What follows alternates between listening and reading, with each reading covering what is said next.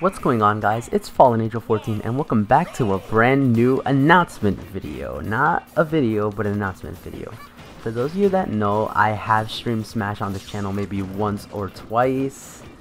And I really am interested in making one because, making a Smash channel because I do love the game and maybe there are some of you Smash players there in the fan base that enjoy the game as well. And I thought it'd be interesting if I'd stream, make some content for it so I just wanted to let you guys know that the Smash channel is available now. I have made the channel.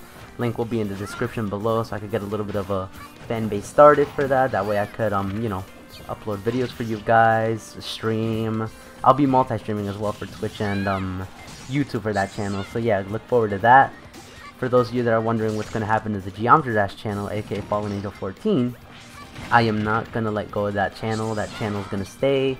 I am going to I'm, I am going to try to make more content for it and all, but I just want to let you guys know that there's a new channel. I will maintain both of them. I will try to as well.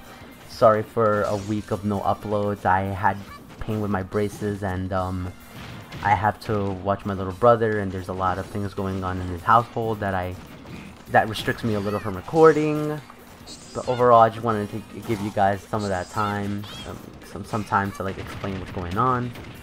And that's really all I have for this video. I'll try to come back with another video soon on this channel. But like I said already, the Smash channel is in the link in the description for those of you that are interested. And with that being said, I will see you all in the next video. Stay fallen, but not sad. Peace, guys.